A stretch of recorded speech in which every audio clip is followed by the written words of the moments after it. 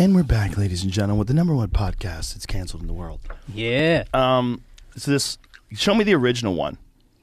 What I sent you, the image. So this was uh, someone's idea to for a morality pill. Okay. So listen to this. All As right. the SARS CoV 2 virus continues to kill thousands of Americans each week, bioethicist Parker Crutchfield has suggested a controversial approach to battling the pandemic, namely a morality pill. Specifically, he suggests that widespread administration of psychoactive drugs could provide, in quotes, moral enhancement that would make people more likely to adhere to social norms, such as wearing masks and adhering to social distancing guidelines. Imagine the idea that you have to give someone a fucking pill, a psychoactive pill that will make them more compliant and make them follow the guidelines of masks and distancing. And what like if the you only could way to just handle that is give a it pill. to your wife and kids, though? Wouldn't that make your life easier? You know what I mean? make your wife and kids wear masks and stay away just from compliant to you. You know what I mean? you. You don't want that, man. You don't want a compliant wife. That's the last thing you. Are you you will sure? be so bored. Are you sure? Aren't yeah, there I'm positive. No, I don't want that. I don't. You don't want that. It's the easy way. It's definitely the easy way, but don't don't do it. You want a, a wife that goes, "What the fuck are you talking Oh, about?" well, bitch?" I got one of those. Good. I got, Congratulations. I got one of those. you have buddy. to have one of those.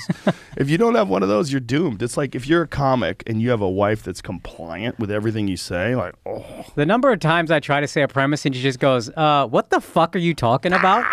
It's it's, ah. it's astronomical. that's great. Yeah. man. That's great. That's important. Yeah. You want that. The last thing you want is someone just like, whatever you say, dear. Oh my God, you go cr- you go crazy. You'd be so bored. I don't know, Joe. It sounds tempting. Does it sound good? It sounds tempting. Really? I don't know if it sounds good in the long term, but it sounds tempting. Right, like a little break. A little yeah, break from you know, just a little you break. You know, just a little compliance here and there. So they changed that article because so many people were complaining. And uh, Jamie pulled up the new version of it. In the new version of it, look what they say. No, don't use a morality pill to stop the COVID 19 Oh, pandemic. there you go. So look at this. It says, uh, author's note I've updated the headline to more closely state my position as opposed to the position being discussed. Like what? But the position being discussed is what's important. Yeah.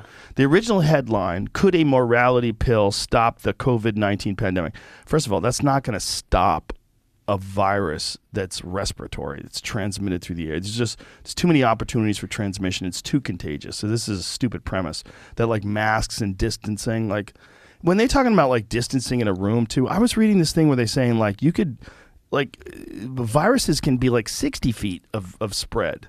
Yeah. I also don't. I understood all this early on. Like, we didn't know what we were dealing with. It was super deadly relative to most viruses. Now that we got a vaccine, if you die, you die. I don't. If you don't want to get the vaccine and you die, you didn't want to get the vaccine. You made that There's choice. other things you can do. Here's a big one monoclonal antibodies, which they've restricted the use of.